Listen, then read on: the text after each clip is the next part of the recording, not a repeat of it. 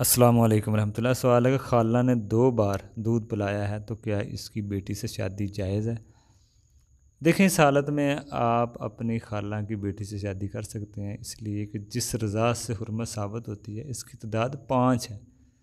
इसकी दलील जैसे शाह रज़ी से मरवी है कि पहले कुरान में ही हुक्म उतारा गया था, दस मरतबा पीने से साबित होती है। फिर ये मनसूख हुआ, फिर पाँच मरतबा दूध पीना, फिर हरमत का सबब बनता है। तो ये शेख इबन बाज से दरियाफ़त किया गया कि अगर किसी ने किसी औरत का तीन बार दूध पिया हो तो क्या इससे हरमत साबित हो जाएगी? तो उनका जवाब था, इन तीन रजा से हरमत साबित नहीं होगी। ठीक है ना?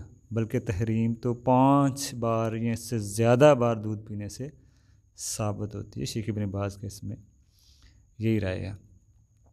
और शेख इबन उसैमिन का कहना कि एक बार दूध पीना असरअंदाज नहीं होता। पाँच मरतबा दूध पीना ज़रूरी है। या फिर दूध छुड़ाने की मुद्दत से पहले वो वो मुद्दत बच्चे की उम्र दो साल होने तक है। अगर किसी ने एक या दो या तीन या चार मरतबा दूध पी लिया तो इससे वो, इस औरत की रज़ाई बेटा नहीं बनेगा, बल्कि इसके लिए पाँच बार दूध पीना ज़रूरी है। और अगर किसी को ये शक हो कि वो उसने चार बार दूध पिया या पाँच बार तो असल वो सही यही है कि वो चार बार ही है। इसलिए कि जब भी अदद में शक हो तो कम को लिया जाएगा।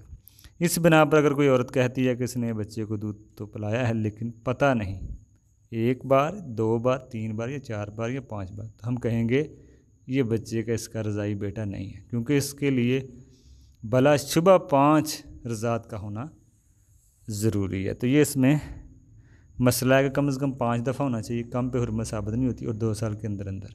अगर किसी को शक हो, दो दफ़ा पिलाया, एक दफ़ा, तीन दफ़ा, पाँच दफ़ा तो शक की बिना पर कम को ही लिया जाएगा। वालेकुम